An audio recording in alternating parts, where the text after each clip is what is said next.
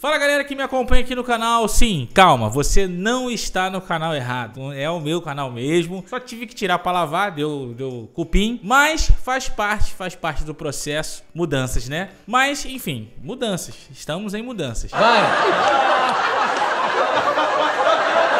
É, mas eu queria já agradecer a todos vocês que já participam aqui do canal. Cara, estamos pertinho de chegar a 50 mil. Falta pouquíssimo, pouquíssimo pra gente virar 50 mil. Então, se você ainda não é inscrito, cara, se inscreve no canal, deixa like aí. Tem muita gente que curte o conteúdo que é feito aqui e não deixa nenhum like, cara. Não custa nada, é só dar um likezinho aí. Você me ajuda muito quando você faz isso. Hoje vamos estar respondendo a pergunta de vocês, feitas na caixa de pergunta do domingo passado. E se você quer participar e quer ver sua pergunta nesse quadro aqui, agora, nesse exato momento, momento nas minhas redes sociais lá, você vai conseguir achar. É, tem uma caixa de pergunta aberta agora lá. Você vai lá, manda sua pergunta que domingo que vem ela vai aparecer aqui no canal, nesse quadro aqui respondendo, beleza? Muito simples, muito fácil de, de participar. Então já vai, corre lá nas minhas redes sociais, aproveita e deixa sua pergunta lá que vai aparecer aqui. Então é isso, basicamente, é, vamos agora para responder mais umas perguntas de vocês. Vem comigo.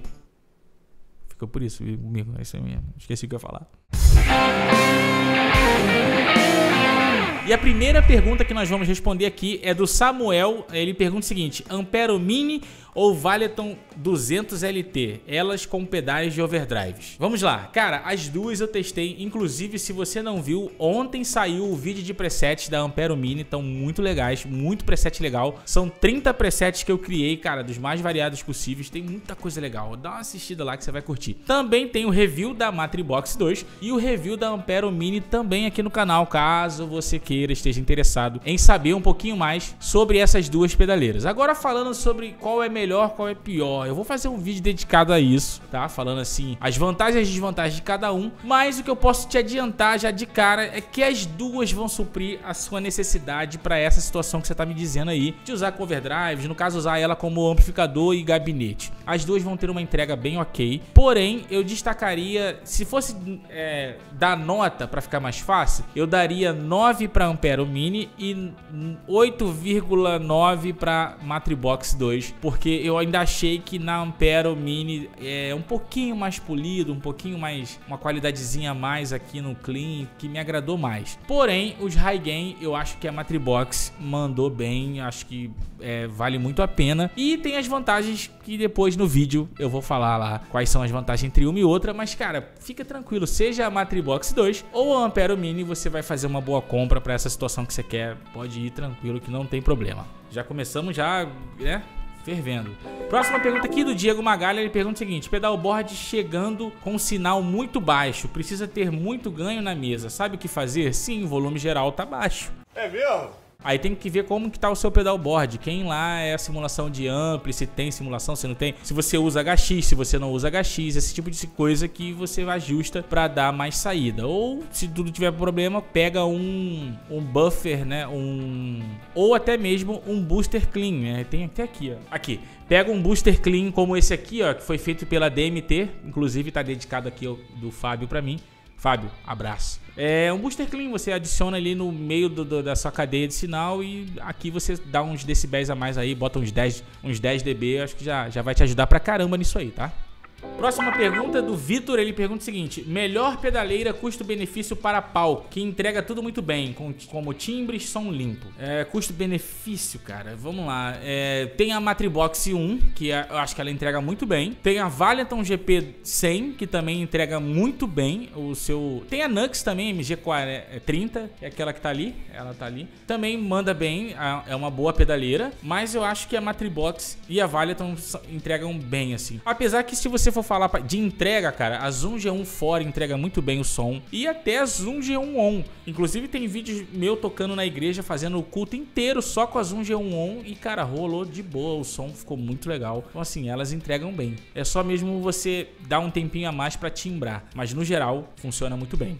Próxima pergunta do Jean Santos, ele pergunta o seguinte: Sou baixista, me indica um fone de ouvido para retorno top. Tamo junto. Fala, Jean, é, se você não sabe, eu tenho uma parceria com a Inir QKZ, que é o. Cara, procura esse cara no Instagram, o Adriano. Ele manja muito dos Paranauê, ele vai ter um fone no seu preço e ideal para você. No catálogo de, de fones dele, você vai ter um fone com dedicado com os graves mais, é, é, como é que eu vou dizer assim, mais acentuados, ou se você quer às vezes agudo, mais acentuado. Tem fones específicos para cada frequência que você queira e dentro de faixas de preço que também vai atender o seu bolso. Eu vou falar o que, que eu uso. Eu uso hoje os X Pro da KZ, que eu peguei lá, o Adriano, né, de parceria com ele. E também já usei os ESN Pro, mas o ESN Pro ele é um pouquinho mais desequilibrado. Ele, ele destaca mais agudo e grave. Os X Pro ele é mais assim, polido, ele é mais equalizado, é mais é, é, mais flat, né? Eu curti mais. Próxima pergunta do Nemis, ele pergunta o seguinte: Pais antes, o pedal de volume deve ser antes ou depois dos drives? E, de e o AUA? Tamo junto, obrigado. Nemias, o AUA sempre antes. O AUA, quando você tem um pedal de UA, você coloca no início da cadeia. Eu, né? Eu. Se você quiser colocar depois, é seu critério. Mas eu coloco no início da cadeia. Normalmente é guitarra, aí vem o AUA, o oitavador, compressor, sempre no início. Com relação a pedal de volume, você pode colocar depois dos drives ou no final da cadeia, tá? Também no final da cadeia rola sem problema nenhum. Depois dos drives ele vai funcionar como um pedal de volume. Antes dos drives ele vai funcionar como um para baixar o ganho do seu pedal de overdrive barra distorção que você tiver aí. Então fica ligado nisso aí.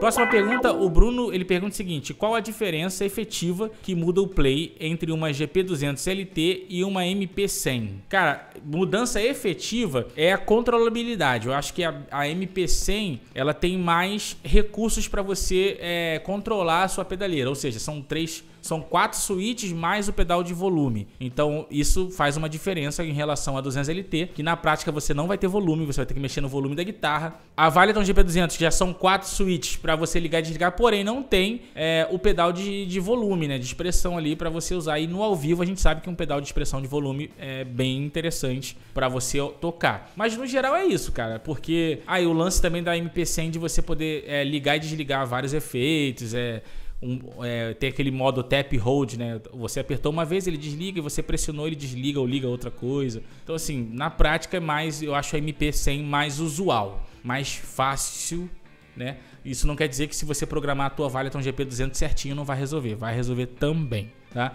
No geral é, é mais ou menos isso. Próxima pergunta aqui do Kleber, ele pergunta o seguinte: Anderson, estou sem grana para uma pedaleira atual. Cube Baby mais um G2. NU, dá bom? Dá sim, cara. Eu fiz um vídeo do da Moer GS100 com o Cuvave e ficou bem legal. Se você não viu, assiste lá. É o mesmo princípio que você vai fazer. Você vai usar o, o pré do, da sua da, da, da, Zoom passando pelo IR do Cuvave para mandando para mesa. Vai ficar um som bem bem legal. A, a própria Zoom G1, Zoom G1 não. A Zoom G2, a própria pedaleira já tem um som legal. Inclusive eu tô para pegar ela para fazer vídeo aqui pro canal. Próxima pergunta do Pedro Henrique, ele pergunta o seguinte: "Salve antes, comprei comprei a Ampero 2. Quais pedais você me indica para colocar junto com ela? Cara, a própria Ampero já tem umas simulações bem legais, aquela simulação de TS, as variações de TS, é, o OCD lá dentro, funcionam muito bem. Mas se você quer economizar, quer botar um pedal. Quer economizar não, né? Se você quer gastar, quer botar um pedal externo, te recomendo por Sky. Tá aqui também, tá na mão. É pedalzinho bem legal da Kaline, bem honesto, ele é baseado no Team Overdrive. É, tem equalização de grave e agudo independente, o que te ajuda muito, né? Ajuda bastante. E tem um timbre maravilhoso maravilhoso, maravilhoso. Esse pedal aqui, ó, melhor custo-benefício que você vai achar aí. Outra, outra opção que eu posso indicar é o Golden Horse, que tá aqui, ó. Que é um pedalzinho da Mosk, que é baseado no clone da Centauro, tá? Um pedalzinho primeiro estágio. Mas é aquilo, né, cara? É chinês pode funcionar 20 anos, como pode quebrar com um mês de uso. Ele é bem mais. É, ele é bem diferente com relação a, a, Por exemplo, se eu pegar esse aqui, ó, da DMT, peso, robustez. Os, opa! Os knobs, apesar de parecer igual, é diferente, cara. É, é diferente. Você vê aqui, ó, olha a entrada do, do P10, não sei se dá pra ver na câmera direito, mas a entrada do P10 desse aqui, para esse aqui que parece ser bem mais né? Bem mais xing-ling. Mas mercado nacional é isso, cara. O pessoal reclama às vezes que é caro. Olha isso aqui, ó. Apesar de ser pequeno da Rádio Custom Shop. Ó, os knobzinhos, sabe? Tudo duro para você mexer com mais precisão, sei lá. Eu, eu, acho mais feito, mais bem feito e mais polido os nacionais. Mas se ah, tô com pouca grana, quero, então vai no China, vai que dá certo. Pode dar certo. Próxima pergunta aqui do Guilherme. É, ele pergunta o seguinte: vale a pena investir em uma Ampero Mini só para tocar em casa? Não toco em banda, não. Vale sim, tem muito som e muito som bom, tá? Muito som bom. É, eu só não sei se ela funciona como placa. Eu não fiz esse teste ainda. Boa pergunta, vou até fazer esse teste. A Matribox 2 eu sei que funciona como interface de áudio. Aí ficaria mais legal ainda, né? Que você poder gravar suas coisas do Reaper ou qualquer outro programa de down que você use aí. Aí seria mais interessante. Próxima pergunta aqui, Davi, Fag... Davi David, eu acho, Fagundes, ele pergunta o seguinte: Estou montando set com HX e dois pedais. Qual controladora indica? Cara, a controladora mais barata que você vai achar é o M-Wave Chocolate. Depois dela, você vai ter aqueles amperos é, switch, né? Que são os controladores para dois, é, dois canais, dois pedais de switch para você subir, descer banco ou ligar alguém, desligar alguém. Eu tenho, inclusive, tenho aqui. Tem tudo aqui nessa bancada. É, que é esse aqui, ó. Esse aqui não é um ampero switch, mas é um controlador switch TRS para ampero é o que eu para ampero não, para HX, mas funciona na ampero também, tá? É tudo conexão TRS funciona. Aqui você vai ter dois switches, você vai subir e descer é, mas eu acho que o mais barato mesmo é o MV Chocolate. Tem os Amperos Switch, que são parecido com isso aqui. Tem o Ampero Control, que já é, um, é parecido com o MV Chocolate, só que uma qualidade melhor, né? Que você vai achar também no mercado. Mas como você quer custo-benefício, acho que o MV Chocolate é o que vai te atender melhor. Próxima pergunta do Sérgio Targino. Ele pergunta o seguinte: só Ampero Mini dá conta no louvor? Dá sim. Glória Adeus. Inclusive, eu fiz domingo passado todo louvor com a Ampero Mini. Quem me acompanha lá nas redes sociais viu que eu coloquei tudo lá nos stories todinho, louvor, os trechos todinho. Tá, tá na, na, no, no, canal da igreja lá a, a, transmissão do culto e todo louvor só usei a Ampero Mini. Ficou bem legal. É, próxima pergunta aqui do Matheus. É, ele pergunta o seguinte: traz o vídeo de como você usaria o Cuvave Baby com a Zoom G1 For, por favor. Matheus, como eu falei lá pro amigo da Zoom lá, que ele falou Zoom G2, cara, é o mesmo princípio princípio que eu fiz nas, na Moer GS100. Então, aquele vídeo lá, cara, é referência. Usa ele, em vez de GS100, você vai usar a sua é, G1 For, que é uma baita pedaleira. Próxima pergunta aqui do Marcos Antônio Venâncio. Ele pergunta o seguinte: Valeton GP200 LT, mais Pure Sky, mais Narciso, mais Kailane, dá bom e resolve já? Com certeza, Marcos, com certeza. Você vai estar muito bem atendido e o restante que você precisar você usa na Valeton GP200. Eu acho que vai ficar muito bom esse set, inclusive, tá? Próxima pergunta do Edu Maker. É... Quem será o Edu? Tosti! Ele pergunta o seguinte: Fala antes. Não é pergunta, só para dizer que tô vendendo uma Les Paul da Seven nova. Ajuda aí, tamo junto. Galera, guitarrinha sensacional sensacional, a Les Paul. Inclusive, eu vou ver se eu trago um review dela aqui no canal, né, Edu? Se você me emprestar. É uma Les Paul bem legal, tá? Bem legal.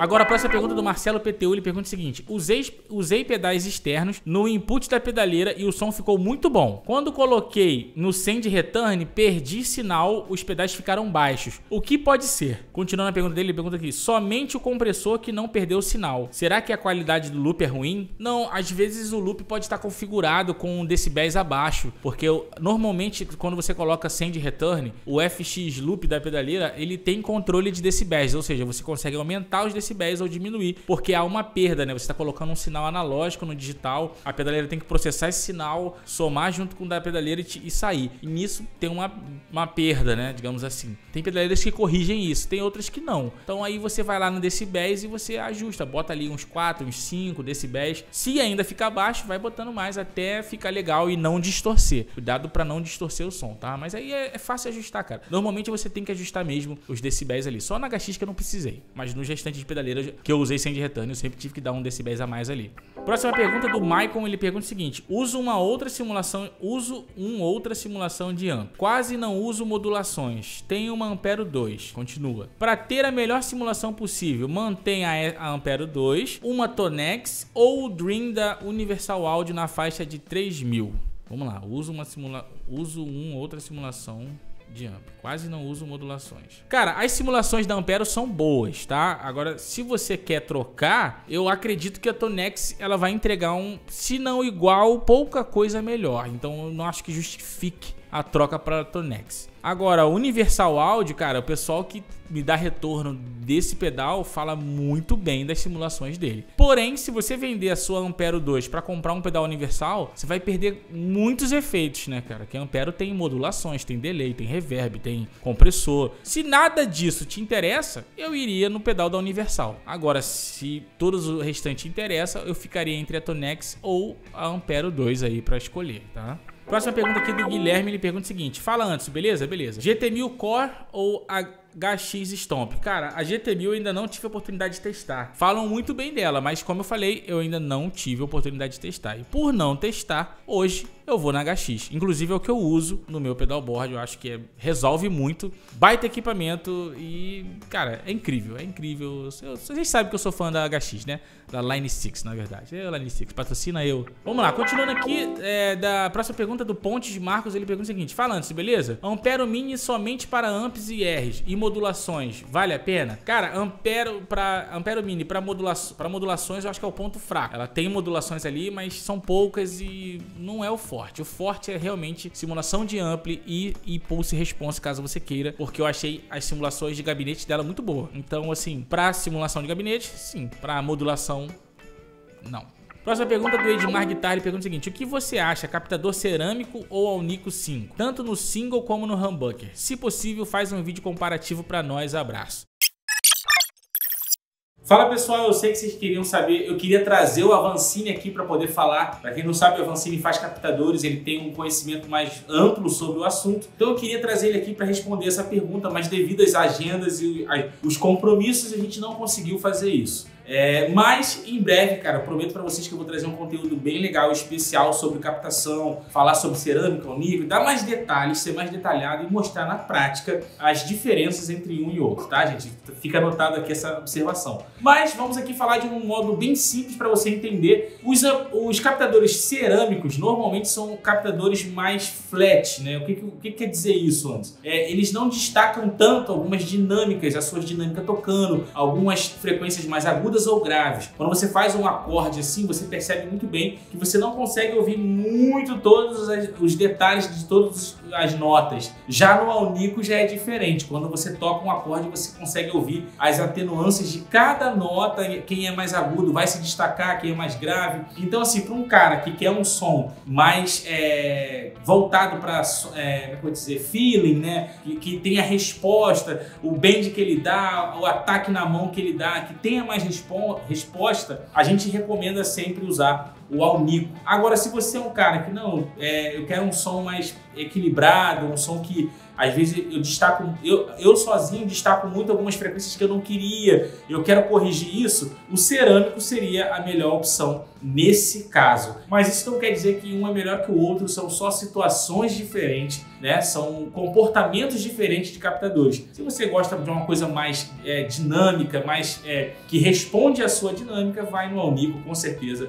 Se você quer uma coisa mais flat, mais flat, flat, mais flat, vai no cerâmico. Basicamente é isso. Num próximo vídeo a gente vai falar com mais detalhes e mostrar. Beleza? Tamo junto. Próxima pergunta aqui do Gabriel Batista, ele pergunta o seguinte: qual a diferença de usar o Foot Switch na HX Stomp em P10 ou em MIDI? Cara, em P10 e MIDI, no geral, com relação à funcionalidade, é a mesma. Ela vai controlar de mesma forma, seja no MIDI, seja no P10. Uma das vantagens de você usar o MIDI é que você libera o P10 expressão da, da HX. Então, por exemplo, se você quiser colocar um pedal de volume ou expressão, e se você usar o Foot Switch no P10, você não vai conseguir ligar é, a expressão nesse, nesse, nessa entrada. Muitas pedaleiras são assim, por exemplo, a Ampero Mini tem a entrada de expressão ali, mas a entrada de expressão é a mesma que você usa para um, um switch controlador, entendeu? Pelo, via P10. Aí, se você ligar o switch nesse, nessa entrada, você não vai conseguir colocar um pedal de volume. Então, a vantagem da, da, da, da HX, por exemplo, e de outras pedaleiras, quando tem conexão MIDI, é que você libera esse canal P10 para usar, por exemplo, um pedal de volume ou um pedal de expressão. Mas com relação à controlabilidade, vai funcionar de igual forma. As conexões são diferentes. Um é via MIDI e o outro é via P10. Via MIDI, normalmente os controladores são mais interessantes, mais, mais inteligentes. Você consegue programar, presetar, fazer um monte de coisa a mais. Mas, no geral, é, você ganha um, uma saídazinha para poder botar mais alguma outra coisa ali. Então, se tem MIDI, usa via MIDI, tá? Próxima pergunta aqui do I Rosa, eu acho que é isso. Ele pergunta o seguinte: Fala, meu querido, preciso de uma de um preamp legal que estava de olho no Flama F06 e no Zoom MS50G, por conta que além de preamp ter outros efeitos, etc. Qual você indica? Cara, se você quer só o preamp, aí vai ter, vou te indicar só preamp, mas como você quer outros efeitos, eu acho que o Zoom MS50G vai, vai te atender melhor nessa proposta, tá? Porque realmente tem vários efeitos. Você não vai ter só o preamp, você vai ter modulações, delays, reverbs, enfim, um milhão de coisa lá. Inclusive tem vídeos aqui do MS50G onde eu uso várias coisas e mostro como é que eu uso. Então eu acho que o MS50G na sua situação vai ser o melhor. Próxima pergunta aqui do André, ele pergunta o seguinte: oitavadores custo-benefício. Vamos lá, tem o da Amon, que agora eu esqueci o nome, sub, sei lá o que. Deixa eu ver aqui o nome, pra não falar. Ah, o Octa. Tem o da Amon, o Octa. Ele faz é, oitava pra cima e pra baixo. É, uma- é um clone do, do POG, descarado. Tem o MK2 da Moer, que é um pequenininho que eu acho que dos custo-benefício, esse é o melhor. O da Moer, que o nome dele é... Não é Puro Octave. Tem o Puro Octave, mas esse é outro. Eu sei que é MK2. Ai, caramba. É o Tender Octaver da Moira, agora que eu vi aqui. Tender Octaver. Tem também. É, mas qual? Tem o da, da. A da lançou um clone do, do, do POG aqui no Brasil. Agora eu não lembro o nome, mas eu sei que tem o da, da. Da, da Artifacts o nome é Octo, né? Eu acho que é esse o nome. Se puder, Edu, bota as imagens aqui dos, dos pedaços que eu tô falando. Não. E da Digitec tem os custo-benefício que é o ricochete, o Homem Ricochete. Esse pedal deve ser uns 550 a 600 reais. Ele faz as oitavas aí de uma forma que você queira, não igual, não completão igual é, o Digitec lá, o completão, mas esse ricochete quebra o galho. Então são essas indicações que eu vou deixar aí pra tu. Próxima pergunta do Jobiel, ele pergunta o seguinte: faz um vídeo ensinando a criar presets e timbrar qualquer pedaleira. Cara, de vez em quando eu lanço, toda vez que eu lanço assim, é, Ampero Mini Worship Preset. Esses Worship Presets que eu faço, ou High Gain, são presets que eu crio do zero com vocês né, no vídeo. Então, se você ficar ali e ver como é que eu faço, você consegue pegar várias dicas e aprender é, o passo a passo que eu faço. Eu lancei até inclusive um vídeo da Zoom G1, Zoom G5N, onde eu criei um High Gain e um Clean e, cara, eu mostro tudinho como faz. Então, é, o conceito é o mesmo. Próxima pergunta aqui do Dixie Side, sei lá. Ele pergunta o seguinte: quanto custou o Mini Ampero? Cara, eu não sei porque eu não comprei. Essa Ampero Mini é um rapaz comprou, inclusive quero mandar um abraço para ele, Isaac. Obrigado aí, o Isaac comprou. Ele entrou em contato comigo e mandou entregar na minha casa para poder eu timbrar já ela e, ó, consequentemente, eu trouxe todo o conteúdo que vocês estão vendo no canal da Ampero. Então, assim, minha gratidão aí por sua vida, Isaac. Mas eu vi, em média, ela tá custando entre 1.200 a 1.400 reais. Não sei quando você estiver assistindo esse vídeo, porque o Brasil né, tá acontecendo muitas mudanças aí, então pode ser que ela esteja mais cara ou mais barata. Próxima pergunta do Leandro Farias, ele pergunta, Leonardo Farias, ele pergunta o seguinte: Anderson, você pensa em ser endosse de alguma marca de guitarra? Se sim, qual? Cara, a princípio eu não penso, né? Falar assim que eu fico pensando, ah, eu queria ser endosse. Não, eu não penso nisso, não. Mas se pintar, eu não ligo muito pra, pra marca, não. Desde que seja uma guitarra bem feita. Uma guitarra bem construída. Pode ser qualquer nome que tá ali. Pra mim, importa tocabilidade. Próxima pergunta aqui do Leonardo, ele pergunta o seguinte: Anderson, quais as guitarras que você testou no Conecta? É, e você tem vontade de comprar alguma? Cara, eu testei algumas. Eu testei a PHX, eu testei da Yamaha, eu testei da Aria Pro, eu testei da Janine, testei da Kaiser. Não, da Kaiser eu não testei, não. Testei da Rig Guitars, que é também nacional. É, Deixa eu ver mais qual. O que eu lembre agora de cabeça são essas aí. As que eu mais. Acho que a que mais me atraiu lá, cara, foi a área Pro.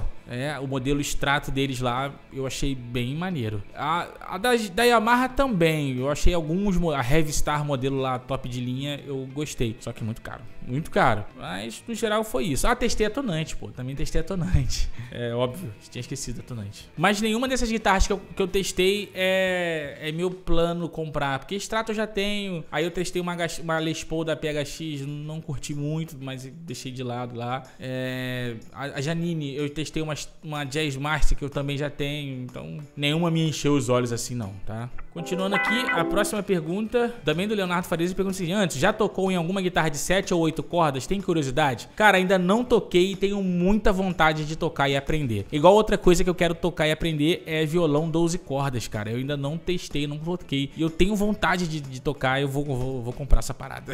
próxima pergunta também do Leonardo, ele pergunta o seguinte: Anderson, escutei o som da Ampero, ela supre sua necessidade? Para você, valeu a pena? Cara, supre sim, tem mó somzaço, mó timbre. Eu acho que a Ampero manda muito bem. Na verdade, todas essas pedaleiras assim é, que estão vindo agora nessa nova geração são muito boas, são muito legais, vale muito a pena. Eu tenho curtido bastante. Acho que todas elas entregam um som muito maneiro. G200, Matribox 2, Ampero 2. Cara, são boas pedaleiras, vale até um GP200. E tem aí de todos os preços aí para suprir a necessidade da galera, né? O bolso, quanto você pode pagar. Então acho que vale a pena sim, supre sim, supre. Elas estão muito bem feitas. Próxima pergunta do Tigas, ele pergunta o seguinte: Estou curtindo muito Jimi Hendrix. Está mandando bem. É, você tem alguma recomendação para continuando lá para começar a tocar essas músicas mais blues rock? Tipo de captação, pedais ou equipamentos? Cara, Jimi Hendrix é fuzz, cara, é fuzz face. Eu sei que, deixa eu pegar aqui, muita gente tem nariz torcido com fuzz. É, fuzz não é minha cara, não é minha praia, mas cara, fuzz é, é amor e ódio. É, eu, eu confesso que eu odiei por muitos anos e agora, depois de velho, que eu tô começando a curtir e começando a aprender a lidar com fãs. Aqui no canal tem review do Facer, esse aqui. Tem review do Picuman da Winterlabs, é Winterlabs. Tem review é, de fãs, eu acho que são só esses dois por enquanto. É, outro fãs que eu te indicaria é do a da empresa Deep Trip Pedals, que também tem cada fãs ali, eu fico só namorando. Inclusive, um dos mais conhecidos é o Bog, mas eu, eu queria o Jimmy Bender, que é um fãs aí baseado lá no estilo do Jimmy Page. Para quem não sabe, Jimmy Page também usou Supro, esses amplificadores aí clássicos. Então, assim, é, é som assim, rasgadão, é extrato ligado direto ali no, numa simulação de ampli, sem muito, sem nada, nem pouco reverb, nada, delay muito pouco, só de cauda em alguns momentos, no, mas no 80% do som é guitarra, pedal e um amplificador. Na verdade, Jimi Hendrix usava muito Marshall, né? É, mas, mas assim, cara, é mais voltado pro blues, blues ó, pro blues. Então, assim, primeira coisa que você quer, se que você quer realmente entrar nesse mundo assim de, de Jimi Hendrix é você tem que ser um extrateiro. Tem que ter uma boa extrato, comprar uma extrato legal, que você sinta bem, confortável. Daí, filho, você vai pros pedais aí, você tem esses que eu falei aí, o Interlabs, é, Deep Trip Pedals, Rádio Custom Shop, tem vários fãs aí maneiraço. Até o Super Bolt, que é baseado no Supro, é um pedal também bem nessa onda. Então, Dumble, os Dumbles, assim, que são simulações de amplificadores muito legais. Cara, é muito bom. Eric, ó, vou te recomendar algumas, algumas outras músicas que você ouvir, né? É, composição de Eric Gales. É, mais que aí nessa onda. Tem também Christian Kingfish, eu acho que é esse nome, não sei se assim pronuncia, que também é muito, muito blues mesmo. Mas, cara, vai no Eric Gales ali, que pra mim é o Hendrix atual. Eu curto demais o trabalho dele, acho incrível. Entre outros, entre outros, entre outros. Tem muita coisa legal nesse, nesse universo. Mas basicamente é isso. E aqui a gente encerra as perguntas de hoje. Quero agradecer a todos vocês que mandaram a pergunta de hoje. Se você quer ver sua pergunta semana que vem, aproveita lá, vai agora nesse exato momento. A caixinha tá aberta lá nas minhas redes sociais. Manda sua pergunta que domingo que vem a gente se encontra aqui de novo. Beleza, galera? Fique com Deus. Um ótimo domingo para vocês. Forte abraço. Até a próxima. Valeu e tamo junto. Até a próxima.